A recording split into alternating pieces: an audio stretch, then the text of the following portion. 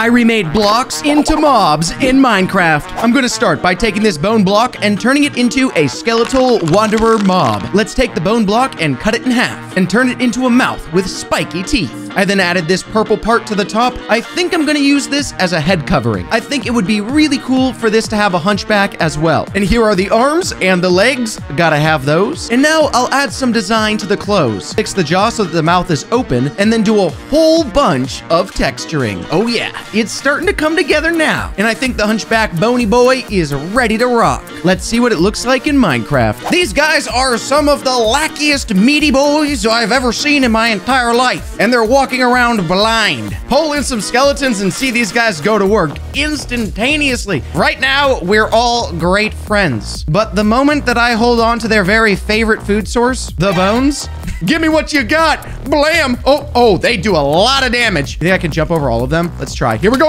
No, I can't. These guys are beautiful. Well, kind of gross. And they look good. We're gonna give you, my friend, a solid 8 out of 10. Next up, I'm gonna take this amethyst and turn it into an amethyst miner. Start by duplicating the block and shrinking it. This will become its nose. Then add these purple rectangles that will become the eyebrows. You might not see the vision yet, but you trust your boy Kipper. Now I'm gonna start making this weirdly shaped hat thing. It kind of looks like a witch hat, but it's not. Don't question it. Onto the ears. I ended up making them pointy like a little purple elf. Now work on that body. I decided to go with the stubby build. You might not like it, but this is the ideal physique. I'll start the texturing by working on the feet, then the shoulders. Now I have a great idea. I'm gonna incorporate the amethyst clusters here too. Let's add them all over this guy's head. Okay, I made the nose really long, but I think it works. Does anyone else think this looks like the dad from Cloudy with a Chance of Meatballs? And like I said, this is going to be an amethyst miner, so he's going to need some tools. So we're gonna take more amethyst and turn it into a very sharp pickaxe. Yep, that's solid. I think our amethyst mob is looking good. Let's check it out in game. Look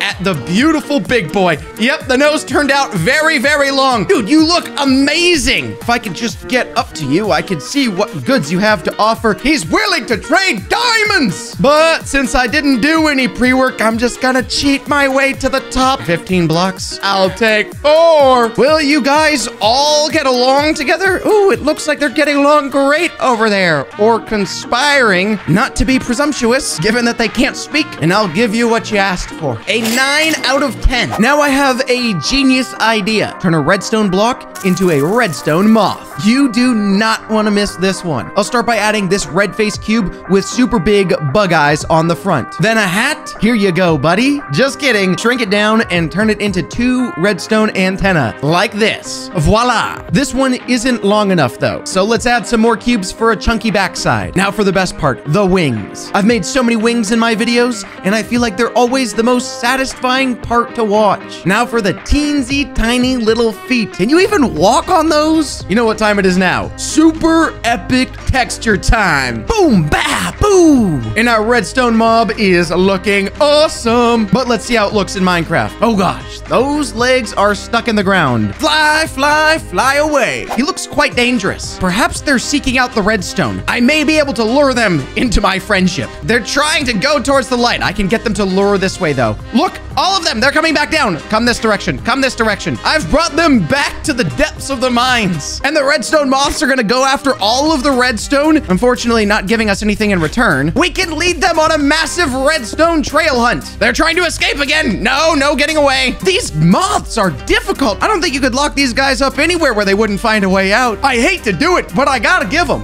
an 8.5 out of 10. Now I'll turn this cobblestone block into a super hungry monster, a gobblestone, if you will. Get it? No? All right. This mob will need to be a lot bigger, so let's duplicate a ton of cobblestone blocks all together. Now that I have the shape, let's start to get to work. And some little legs down here, and some arms up there. And turn this hand into a four-fingered fist. Why not five? Because the cobblestone is unique okay? I wanted to give it these yellow eyes that really stood out as well. Then I gave it this giant jaw, you know, to eat stone with. And then I decided to add moss to the mob to give some love to mossy cobblestone. Moss to the mob, moss to the mob, moss to the mob. I worked the green moss into the cracks of the cobblestone just like this. Now I think the cobblestone monster is ready to rock and roll. But let's see how it looks in game.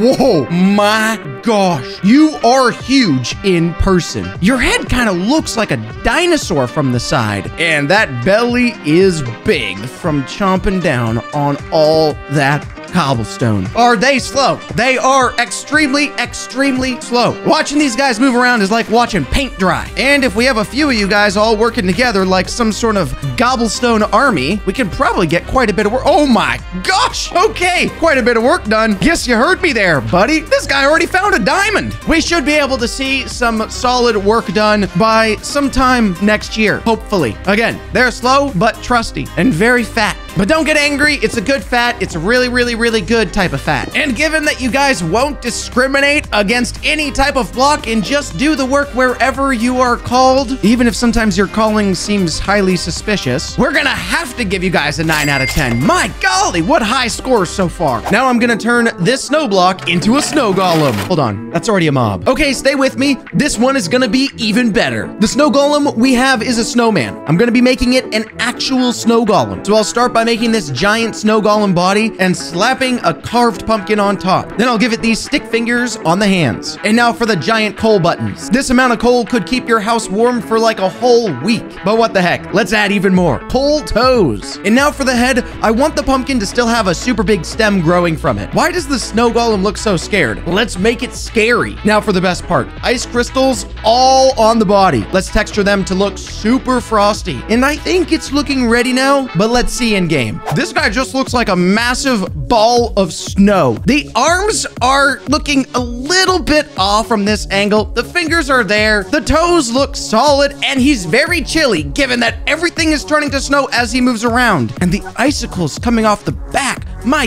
goodness, I don't want you to freeze alone. Let's get you a buddy here as well. Now the two of you can freeze together. Our snow golems do not want you to know they have the capability of moving because if they could move, then these big folks could take over the entire world. That would not be good. So anytime that we're not looking, they can move around freely. Let's see if we can catch a glimpse of their secret magic in action from an angle. Look at them conspiring to take over Minecraft. But as soon as we catch them in the act, they freeze in place. I wish that that shoulder would melt slightly lower than I put it because it just looks a tad odd how hunchback he is. The icicles on the back look great, but these down here look slightly out of place. I'm gonna have to give you a 6 out of 10. Now I'm going to turn a cherry log into a cherry allay. A cherry. I'm gonna use the cherry log bark to make this crown shape, make these two white allay eyes, then start to build out the body from there. It's gonna need wings, and I'm gonna use these cherry saplings to make them. Now I'm gonna turn the crown part into a flower crown. Look at that. Gorgeous. Texture in these dots all across the mob to fit with the cherry tree theme, then make this one branch, kind of like a horn, coming out of the top. Now for these little bark claws and toes, and the cherry log mob is looking fly. But let's see if it looks good in game. We've got the perfect home for our cherry. Look at this beautiful little fairy. Oh,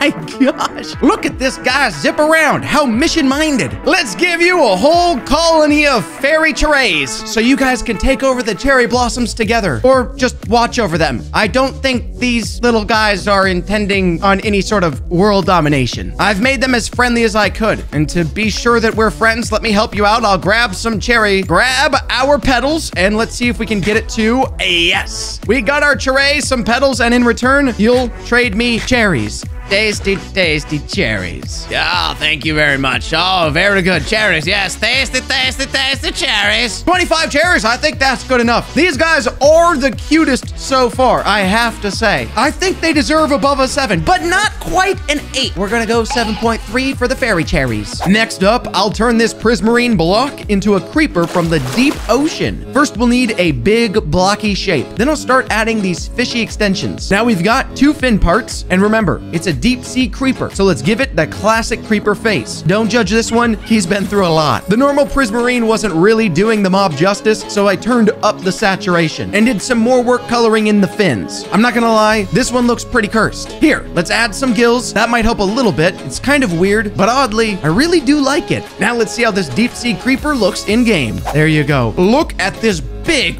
fish. And that creeper face is so off-putting as soon as you come around to the front side. On land, he's moving around really slow, but as soon as he manages to figure out where the water is, which he's very much seriously struggling with currently, I have a really, really, really genius idea. Or a very bad idea, as are all my ideas. Now, yeah, just as I thought. Come on, bring it, bring it, bring it. Okay, I better run now this direction. He's going in the water. All right, here we go. Here we go. Oh! Oh, boy. All right, Buster. Bring me your goods. A little closer. Okay, run, run, run, run, run.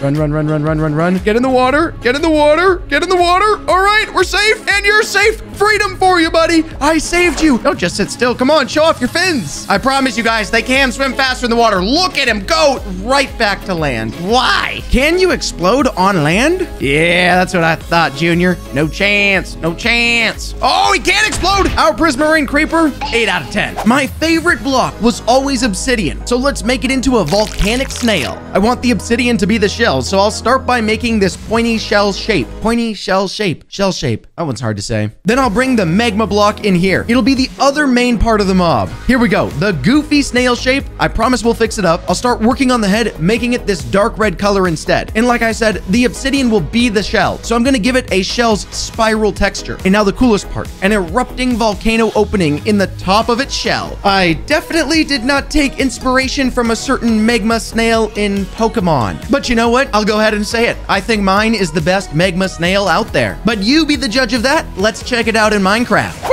You are big. I thought I was gonna burn up as soon as I put you in there. We are friends and I'm willing to risk it to show it. Our magma snail looks boiling. A disaster waiting to unfold. All right, you're way too attracted to me, dude. Just back off, all right? You're coming on a tad bit strong there. He will not leave me alone. I can't even get a good look at you from the side. He's just chasing me around. His magma top on the obsidian looks really nice, but he's not giving me a good chance to get a solid look at his shell. Makes me think that he might be just a little bit embarrassed about it. When I look at it a little closer up now, finally, it looks like it may be too small for our magma snail. I we probably should have increased the size of the shell because given the current size, I think he's trying to chase us down to have him help him get a bigger shell. It clearly is not big enough to contain all the magma inside of our magma snail. 6 out of 10. What's next? Let's turn this coral block into a coral crab mob. The coral block is going to become the shell for the crab, so let's carve out an opening. Then I'll use the vibrant blue to start making the crab body. And here we've got all the pointy crab legs. Talking about all these crab legs is making me hungry. But this one is not for eating. It's time to make the big pincher claws for the crab. And since I made it more of a hermit crab, I'm gonna give it these huge eyes. Oh my gosh, he's looking cute. And then I decided to start adding coral pieces like this. And this crab lives at the bottom of the sea, so it'll also have these barnacle growths on the side of it. But after just a little bit more texturing, I think the coral mob is perfect. Let's find out for sure. There we go. A perfect spot for our coral crab. Oh my gosh, this guy looks cute. Look at those eyes on him. Hey, why are you leaving? I went all the way down there for you to have a beautiful home, and you decide to sit at the top of the water? I guess it's all right. It Gives me a better look at your pincers, and we can see the particles growing on the side. The coral crab turned out beautiful, but coral crabs do not live alone. They live in thousands and hundreds, or like 25. The coral crab is not a friendly creature. These things are wild, they are vicious, they are dangerous. But because I care more about discovery and the furthering of humanity, I'm going to put it to the test.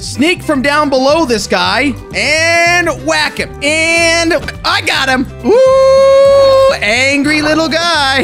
Look at him now. He's gonna try to chase me. Let's give him another hit. Get you again. Oh, we got him all the way. And look, our coral crab dropped some brain coral. Yikes. Get that guy. Another one. I got you. Got you. Got you. Your turn. See ya.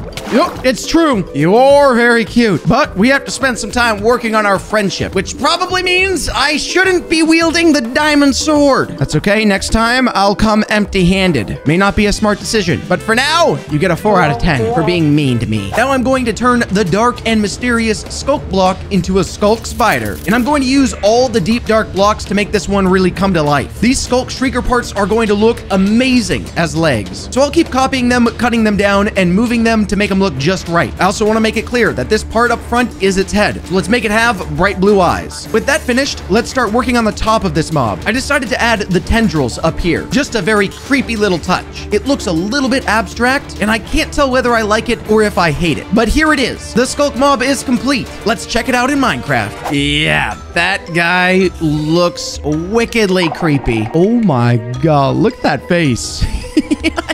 He's sending out these vibration particles, which are very dangerous if you get too close. Now, granted, obviously, so far, I'm perfectly fine, which I had to enter this protected. You know what? You don't believe me? I'll show you what I mean. All right, buddy, let's be friends. Let's be friends. We can be friends. We can, we can't be friends. We can't be friends. We can't be friends. In fact, I better get away as fast as possible. Now you know what I mean. These skulkers are highly volatile, very, very dangerous. Unless, of course, the skulkers are just angry at me. Let's do this and see what happens. Oh my goodness, no way. They're just mad at me. I'm the only one you guys want to attack? Oh my. Hey, dude, we could be friends. Trust me. This'll, it'll, it'll, it'll work out. It'll work out if you stop that. It'll work out if you don't hit me. It's not gonna work out. It's never gonna work out. You hurt me, you get a 1 out of 10. And I never wanna speak to you ever again. You didn't think that I'd leave out the grass block, did you? Let's go ahead and turn it into a giant earth beast. We're gonna need a lot of dirt pieces. And I mean a lot. We'll have this part be the head and add a jaw down here out of stone. I want to have some sort of plant on its back, so I'm gonna use some azalea plants for that. The details really matter here. So I started getting to work on some little grassy bits. But I also need to work on the face, so I made the eyes like this. It kind of looks like a big earth cow, and I'm about it. I also thought it would be fitting to turn some leaves into a messy, grassy haircut. Now for some stony toes, and finally, the tail made of dirt. Now look at that beefy mob. It almost blends into the background, but let's see how it looks in-game. Let's play Spot the Massive Grass Block Mob.